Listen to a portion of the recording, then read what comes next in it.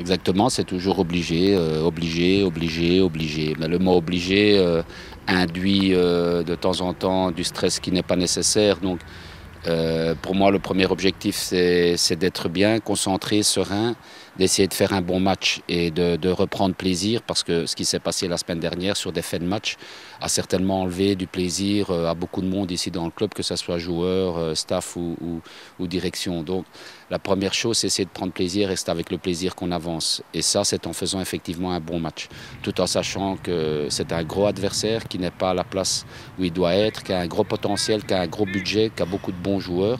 Mais on a déjà prouvé dans le passé que euh, on, était capable de faire des gros matchs euh, contre des grosses équipes.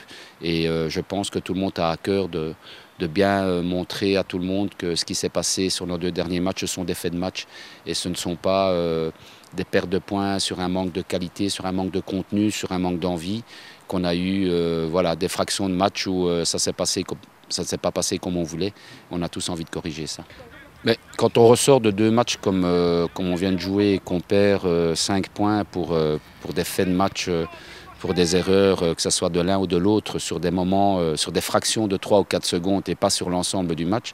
Je pense que l'important, c'est d'essayer de, de, redonner confiance aux gens, de, travailler beaucoup sur le mental et euh, de, justement, je vais dire, insister sur, sur la notion de, plaisir aux entraînements. Ça ne sert à rien de, de, faire n'importe quoi, de, tuer les joueurs, ça c'est mon avis. Et donc essayer de relancer la mécanique en leur faisant comprendre qu'on a besoin de plus de maturité, en faisant comprendre qu'on a besoin de plus de concentration. Et euh, avec déjà ces deux paramètres-là, je pense qu'on peut, qu'on peut avancer. L'important, c'est de progresser par rapport à nos, deux dernières sorties euh, dans les erreurs qu'on a commises. Si on progresse déjà là demain, ce sera déjà très important. Ben, tout le monde découvrira l'équipe demain. Euh, je ne vais pas en parler aujourd'hui. Euh, voilà, il y a des gens, euh, des joueurs pardon, qui m'ont semblé bien à l'entraînement cette semaine-ci, euh, des joueurs qui ont besoin de, retrouver des sensations. Il y aura peut-être des changements, tout en, tenant compte que tout n'était pas acheté à la poubelle la semaine passée au LIRS.